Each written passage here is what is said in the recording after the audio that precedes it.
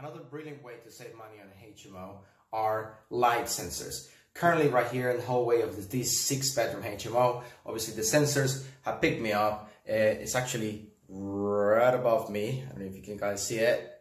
There we go, just barely there. Uh, and uh, there's a timer, of, as, as you know, with, uh, with the uh, sensors. You can leave it uh, on for whatever time you decide. Uh, to suit sort of the, the flow and, and, the size of the house. Uh, when nobody's around, obviously the lights will come off.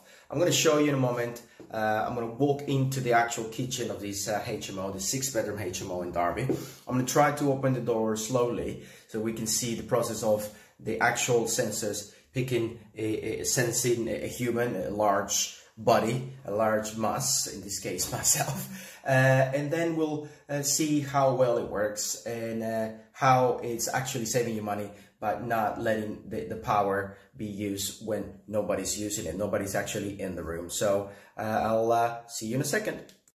Okay, so we are just about to walk into the kitchen. Um, as you can see right there, the, the lights that you can see on, it's actually coming from the uh, the actual uh, canopy. So I'm just gonna walk in, uh, see if I can show you the, the sensor where it's located. Let me just tilt this a little bit.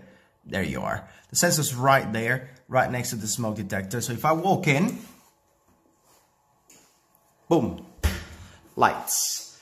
So you can see immediately the, uh, the lights uh, are working and nobody is wasting any, any, any power, any electricity everything's looking nice and nice and ready for new tenants to move in. So yeah, sensors, just like that one, that's the one.